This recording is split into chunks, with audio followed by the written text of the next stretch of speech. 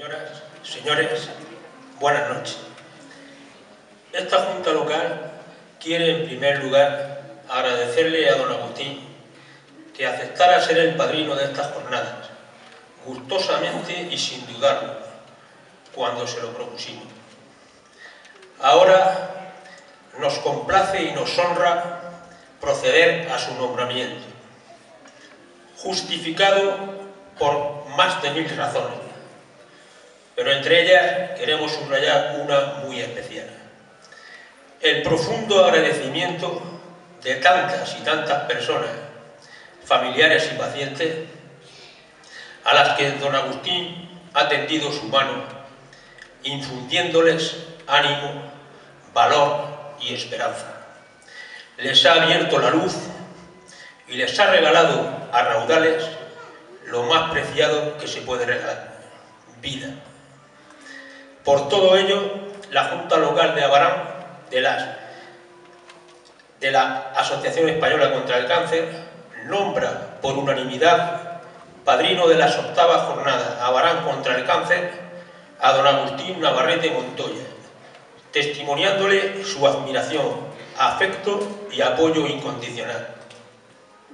Estamos seguros que nunca serán más merecidos unos aplausos tan fuertes, sinceros y calurosos como los que esta noche le va a tributar el pueblo de Abraham, magníficamente representado en esta sala.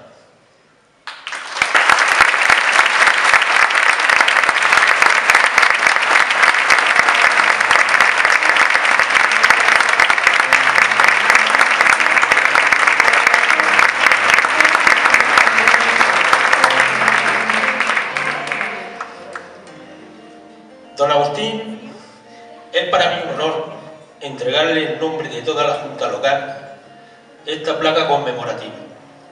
Pero antes, permítame leer públicamente el texto que lleva grabado.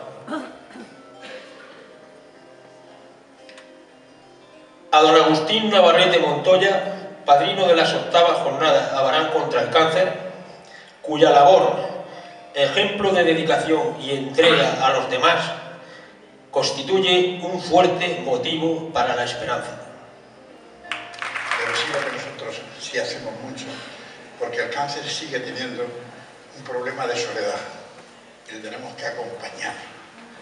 Esos voluntarios que visitan los hospitales, que visitan los domicilios, son problemas psicológicos que tiene el cáncer y tenemos los psicólogos para apoyarle. Es decir, que tenemos que ayudar y acompañar, pero además tenemos que seguir teniendo más cosas que la bomba de cobalto. Y hay muchos medicamentos que se tienen que investigar, que hemos conseguido. Yo llevo ya 42 años en el cáncer, viendo enfermos de cáncer. Y llevo 40 años en la asociación como médico que ayudaba, apoyaba a la asociación el abismo que ha pasado desde aquellos primeros años a lo de ahora es una cosa totalmente diferente. Hoy, si hay 10 mujeres que tienen un cáncer de mama, por poner un cáncer, 9 están viviendo más de 10 años. Y hace 30 años vivían una. ¿Qué quiere decir? Que esto ustedes han pagado ahí una entradita para vernos aquí a este espectáculo, vamos a contribuir a la investigación, vamos a ayudar que no pare la investigación, porque ese es el éxito que podemos tener. Investigar para que el cáncer, que hoy ya no es, se mira con, con esa tristeza, con esa sensación de, temor, porque sí, somos muchos los que estamos supervivientes del cáncer y años, y vamos a conseguir más si investigamos. Por eso yo no les canso, hemos venido a pasar un rato. Bueno, ya no hablo más del cáncer y a disfrutarlo. Muchas gracias y que pasemos una buena noche.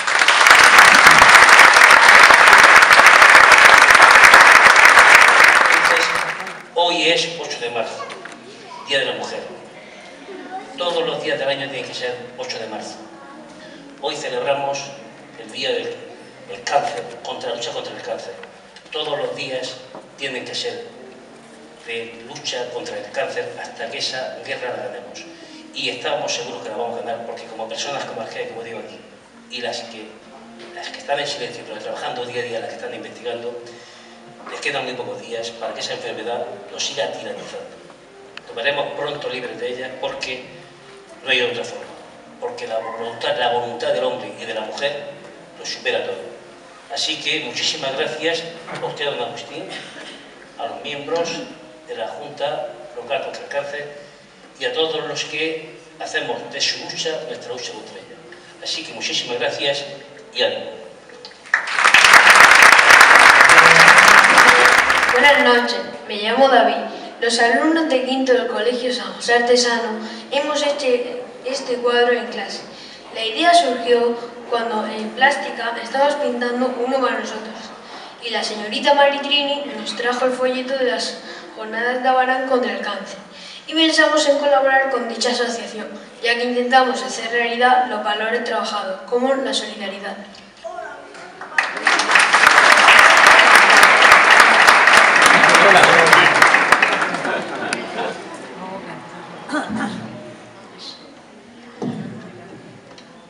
Hola, me llamo Pablo. Entre todos decidimos hacer un cuadro que fuese una explosión de color. A través de él queremos transmitir alegría, felicidad, ilusión.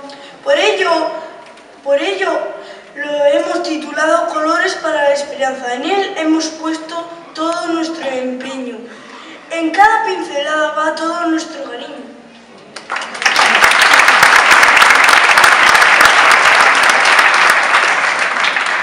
Hola, me llamo pa Yaiza. Para nosotros es un placer colaborar con esta asociación y estamos dispuestos a seguir haciéndolo. Nos sentimos muy halagados y agradecidos que nos hayan invitado a esta gala. Muchas gracias en nuestro nombre y en el de los compañeros que no han podido asistir.